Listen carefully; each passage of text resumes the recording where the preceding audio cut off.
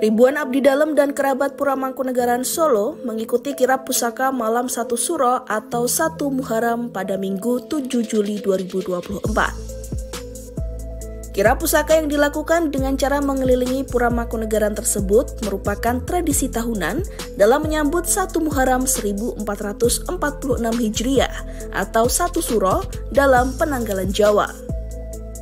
Kirap pusaka ini dilepas langsung oleh sampean ingkang jumenang Kanjeng Gusti Pangeran Adipati Arya atau KGPAA Mangkunegara 10 yang saat ini menjabat raja di Pura Mangkunegara. Ada enam pusaka Pura Mangkunegaran Solo yang dikirap bersama para abdi dalam dan kerabat keraton yang juga melakukan tapa bisu tanpa alas kaki. Peserta kirap mengenakan pakaian adat beskap hitam bagi laki-laki dan kebaya bagi perempuan. Selain itu, peserta kirap tidak diperbolehkan bersuah foto atau selfie, bahkan bicara dalam prosesi tapa bisu ini. Tak hanya kerabat dan abdi dalam Pura Mangkunegaran, namun sejumlah tokoh juga tampak mengikuti proses kirap pusaka dan tapa bisu. Beberapa di antaranya putra kedua Presiden Joko Widodo, Kaisang Pangarep, dan istrinya Erina Gudono, serta Wakil Wali Kota Solo, Teguh Prakosa. Sementara itu, salah satu peserta kirap yang berasal dari Jakarta mengaku sangat terkesan usai mengikuti kirap bersama ribuan abdi dalam dan kerabat keraton.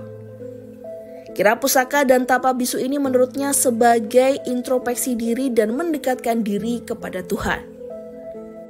Iya berkesan ya Mbak, karena pengalaman seperti ini kan untuk generasi saya nggak terlalu banyak mengalami ya jadi ini tuh sebenarnya konsepnya itu bagus juga ya untuk kesehatan, baik kesehatan fisik maupun mental gitu ya. Jadi sebenarnya eh, kalau kita sering sekarang sering bicara kesehatan holistik segala macam, ini tuh sebenarnya udah ada mengandung unsur-unsur itu juga bisa diterapkan untuk kesehatan holistik juga sih karena kita kan nggak pakai alas kaki gitu ya jalannya.